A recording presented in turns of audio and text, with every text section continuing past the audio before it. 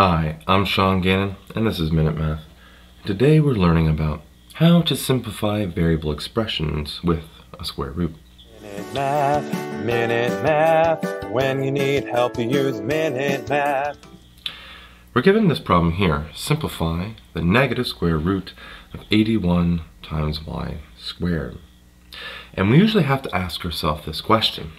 What squared is equal to what's on the inside of the square root, 81y squared.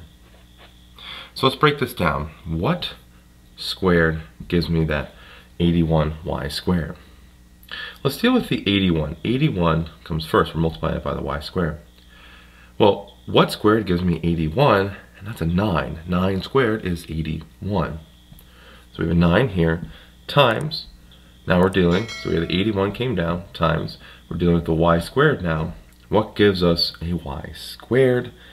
And that's just gonna be a y, right? A y squared on the outside gives us the y squared here. and so the inside, excuse me, is just a 9y.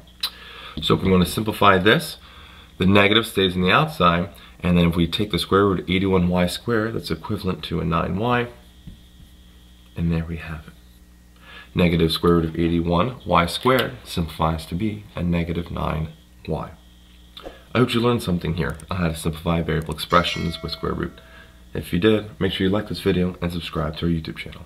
This helps us make more of these free math lessons for you and for everyone else.